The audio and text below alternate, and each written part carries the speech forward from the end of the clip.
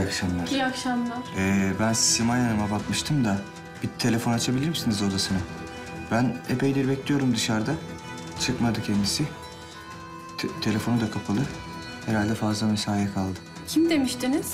Simay Canay mı? Evet evet. Simay Tekinoğlu. O ayrıldı bu şirketten. Bugün mü erken çıktı? Hayır hayır, işten ayrıldı o. Geçen hafta bizimle ilişiği kesildi.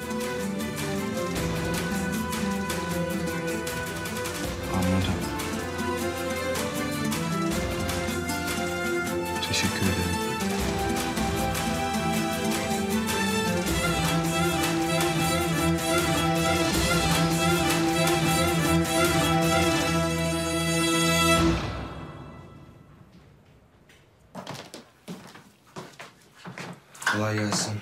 Sağ ol. Sağ ol yavrum. Acıktın mı? Biraz. Sofra hazır olur birazdan. Acele etmeyin ya.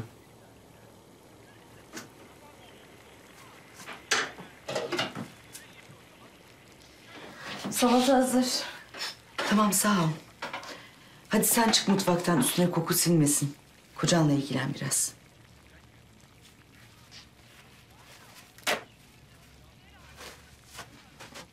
Allah Allah.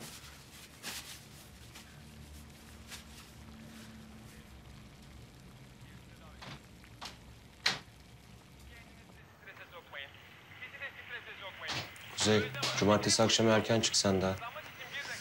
Niye hayırdır? Allah Allah. Balık hafızalı mısın oğlum? Zaten babamı zar zor ikna ettim. Banulara gidiliyor mu? Biz değil onlar gidecek. Kuzey, sen, ben, annem, babam gidiyoruz. Başka laf istemiyorum. Ya birader bu tanışma toplantısı değil mi? Hı? Tamam ben bunlarla önceden tanıştım. Tanışmayanlar tanışsınlar. Şahsen Güney benim gelmemi isteseydi ben çok isterdim orada olmayı.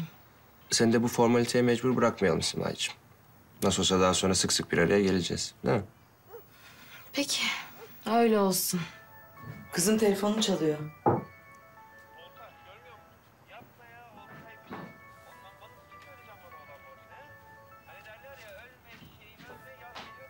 Allah'ım sen nelere kadirsin.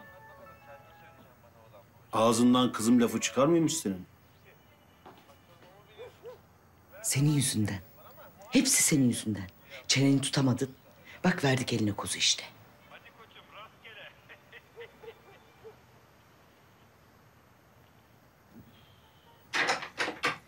Evdeyim ben de yemek yiyeceğiz birazdan. Sen ne yapıyorsun? Bütün gün o şantiyeden öbürüne koşturdum durdum. Yeni nefes alıyorum. Akşam rahat rahat konuşalım diye koştururken aramak istemedim. Tahmin ettim yoğun olduğunu. Ne zaman bitecek işin, ne zaman dönüyorsun? Yarın akşam. Ayarlarsan hemen görüşebiliriz. Yarın olmaz. Cumartesi olur ama. Babamlar evde olmayacak. Birkaç saat boş olacağım. Bu lafı En son lisedeyken duymuştum herhalde. Sayende lise yıllarıma döndüm. Fena mı işte? Fena. Yapayım? Ben öyle her aklına estiğinde dışarıya çıkabilen kızlardan değilim. Tamam tamam. Aslında hoşuma bile gidiyor.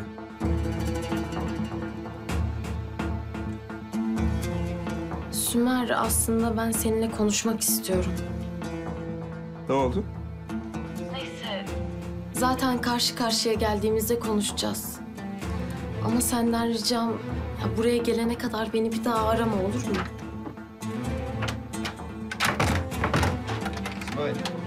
Kapatmam lazım. Geldim. Kızım açsana kapıyı.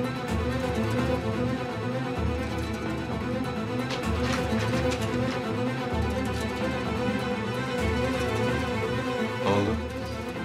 Ne ne oldu? Niye kilitledin kapıyı? Ya aha, annemle konuşuyordum hiç farkında değilim. Sana da selamları var. Aleykümselam. Sofra hazır hadi.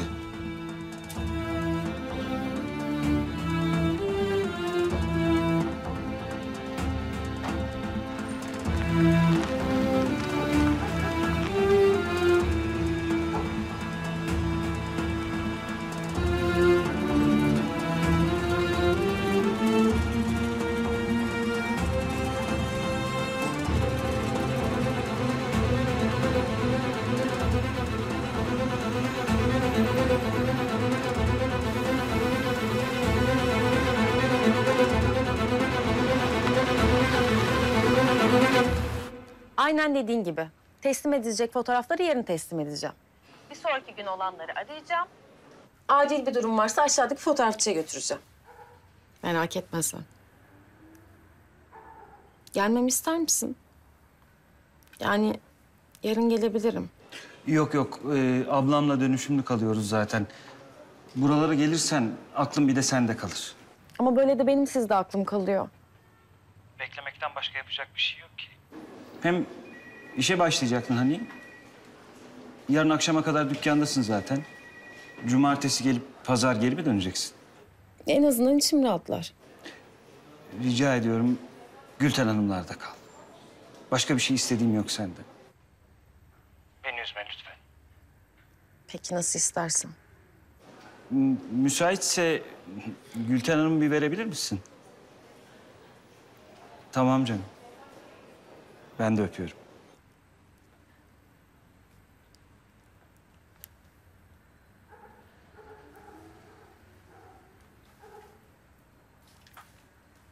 Alo? Hüseyin Bey merhaba. Gülten Hanım iyi akşamlar. Nasılsınız? İyiyiz, çok teşekkürler. Ee, bugün öğleden sonradan beri. Yok, bir sorun yok. Asayiş Berkemal. Çok teşekkür ederim Gülten Hanım. Ay rica ederim. Görüşmek üzere. Gerçekten yanında mıyım diye seni istedi. Biliyorum. Kuzey yüzünden. İnsanın babasının güvensizliği de başka bir şeymiş.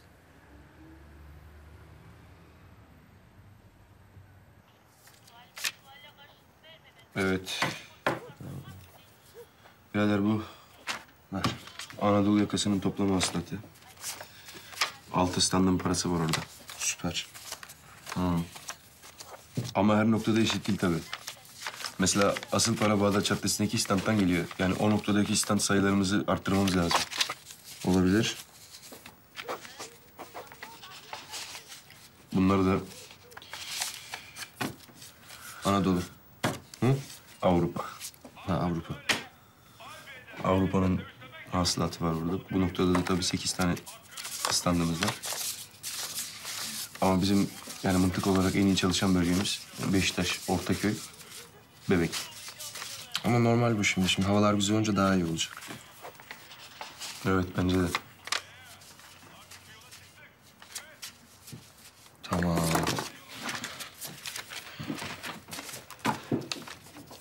Şimdi sen şunu al. Bu senin. Ben bunu... E, Ben alırım. Sen önce onların alacaklarını al. Ya al. Allah Allah.